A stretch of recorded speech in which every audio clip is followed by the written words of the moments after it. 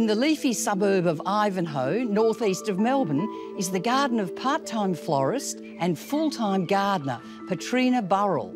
Her cottage garden is a celebration of colour and a home to thousands of bulbs, hundreds of roses, peonies and self-seeding annuals.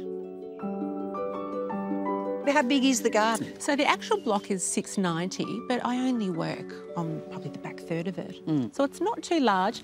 And I've actually started digging into the lawns. I needed more garden beds. So when hubby wasn't home, I took up the lawn.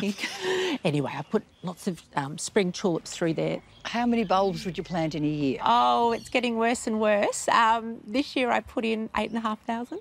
Oh, get on. yes. What? What Oh, so there were ranunculus, the beautiful Italian Renaissance, those big double frilly ones, and all different varieties of tulips that will flower mids and lates, earlies, and then daffodils and anemones, and it's just a riot. It's just a joy, a joy of colour. How would you best describe your garden? Well, I would say it's an English garden. I love flowers and I just plant what I love. So I, I look for fragrance, I look for joy, I look for colour, I look for all the old-fashioned flowers, like the real, real flowers. This is a very nice flowery spot right in the full sun. Isn't she beautiful? Mm. So mm. we've got lots of foxgloves, delphiniums, and then, of course, the roses through the middle. And the alliums, look at those, yeah. marvellous bulb. And your pots are really good, filled often just with self-sown things yes. like the lobelia. Yes, the lobelia, the violas. I think they where they land and fall, that's where they grow, which yeah, I just and love. Cornflowers. Yes, and they're all just self-sown, and I just let them fall on the path or grow through the trees. I always like the look of a loose garden. Do you know what I mean? Where sort of the aquilegias just sort of flow out. Yeah. And you've done that. Yes, definitely. And I think again that comes back to working with nature. So there's a self-sown. She put herself here and then free flowing, and she's just happy, shining, just for everyone to see. People may not know them. They're columbines, aren't they? Or Granny's bonnet. Yes. just adorable. you can just imagine the little hats there. They're beautiful, aren't yeah. they? And the different colours, I think they're lovely. This one here is just spectacular. Yeah, the two-tone variety. And again, she just put herself there, just beautiful, and comes up every year. Then I cut her down to the bottom, and then the right time, up she comes. Do you think flowers bring something out in people? Definitely, definitely. I think they just bring joy and that connection that you can have with flowers. My beautiful mother, she taught us to love the little things in life. Mm. Every night we'd sit down and she'd pick flowers to go on the table, centre of the table, and we'd talk about the flowers. That's a really lovely thing to do because then yeah. kids do mm. become more aware of what's around them. Yeah, so true, yeah. so true. And it doesn't matter how small or how mm. large. I noticed a cute little thing over here in the Yes, yeah, there's a little viola and she just found their way there. If things find their way where little spots, I leave them. I think, good on you, you found your way there. When I was little, I said in my little my diary, when I grow up, I want to be a florist. Oh. And that's what I said in my grade six diary.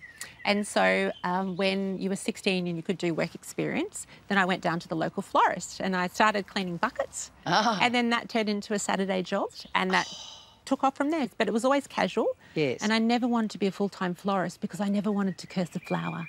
You know, I never to I, curse a to flower. To curse a flower to... because I know when it gets tough in floristry. Yes. You know, you, there's a lot of pressure. There's a whole side to floristry that people don't yes. see, and I never wanted to you know, be upset with the flower. I always just wanted the love there for them. They're my friends. I love them. Tell me about your job as an airline hostess. Ah, yes. I love travelling mm. and I love the gardens around the world.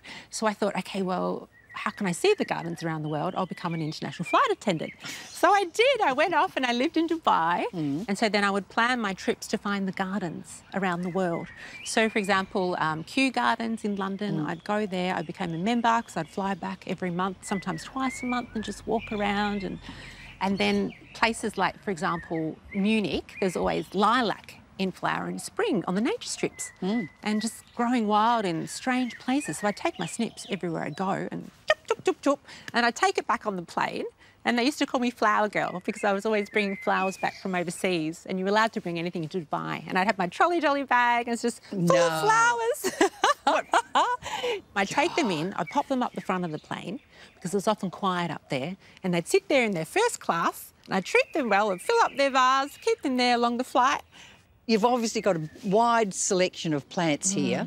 Mm. What mm. would be your favourite at this time of the year? At this time of the year, the roses. Mm. The roses. I truly love roses.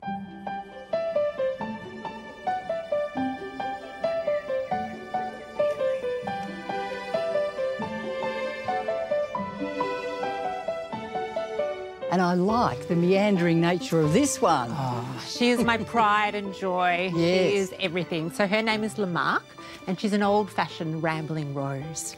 It's beautiful. It's just so flowery, isn't it? She's just a joy, and I wrap my house in roses. this beautiful one here, this is Mary Rose. And I love her for her fragrance. She has a beautiful myrrh fragrance. Ah. Just exquisite. This is Abraham. Can't forget you. Beautiful Abraham Darby. Beautiful fragrance, really sweet smelling. And the colours are peach through to pink. Big full heads. And oh, this is David Austin, isn't it? Yeah, all David Austin. He's bred them so beautifully, Yeah. hasn't he? This is Sharifa. And she's known for her beautiful perfume. Oh, wow. Yeah, really mm. potent. She's beautiful. She is quite tall. I didn't realise how tall she'd be when I popped her in. And here we have Lichfield Angel, and she's a beautiful climber, David Austin climber. Really big cups, very generous, often two or three heads on her stems, and she's fabulous. She just keeps giving. Just fantastic lot of petals in each. And then over here we have Jude the Obscure. I love Jude. Full cups. Isn't that beautiful? Yes. And then there's William Morris. That's another climber. So I'm hoping all the way up he'll go. Yeah. A massive amount of flowers. Beautiful. Yeah, just a joy.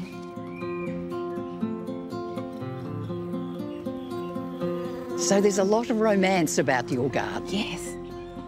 I love that my garden evokes feelings, memories. You know, it's a place for everyone. It's dreamy, it's daydreamy. I want to bring the joy of gardening back and the joy of flowers back. I think people think it's time consuming to have a garden like this, and it's actually not. You just put them in, talk to them, watch them grow. You know, it's not as much work as people think.